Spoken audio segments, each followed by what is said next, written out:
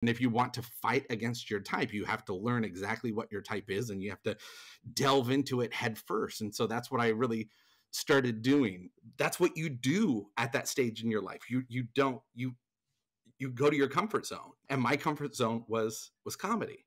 And it was it was a great lesson early on in in the entertainment business of uh, just because you can do something doesn't mean that people are going to let you do right. something because they're going to look at you one way or if you can do five things and they've got mm-hmm. people that can do three of those things they're going to rely on you for those two things.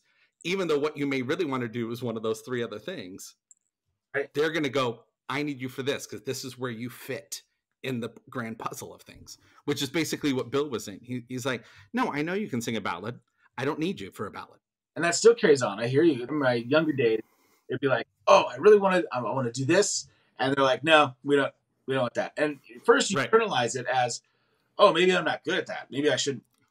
But it's also not really about that. It's about what they need. I've really kind of continued that mantra. A client or a company or a partner or whoever